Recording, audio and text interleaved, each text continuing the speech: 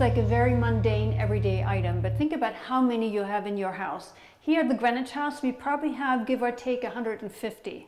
Seems like a large number, but truly that's what it is. So let's travel back in history. Edison created the light bulb, which of course then became in different version the incandescent light bulb. From there we wanted more energy efficient light bulbs, which became the CFLs.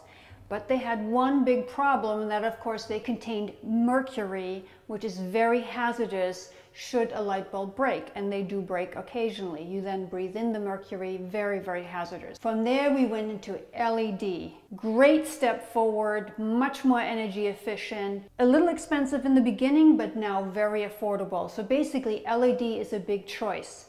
Let's talk design trend. The designer in me, of course, wants a fixture to be beautiful, and any glass fixture obviously has a light bulb to look at. So you want the bulb itself to be just as beautiful. Hot right now are these trendy so-called Edison bulbs. They have this cool industrial chic.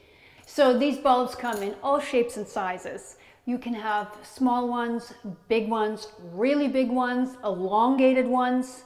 Here I picked Philips small LED retro looking Edison bulb because I wanted them to be fairly small in this rather small globe. So look around your house and see what rooms might really look great in this new industrial vintage chic.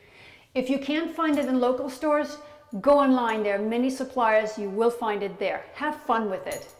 Thanks for watching. Be sure to subscribe to our YouTube channel and check out our recent project, The Greenwich House. You can find more information at sabinesnewhouse.com.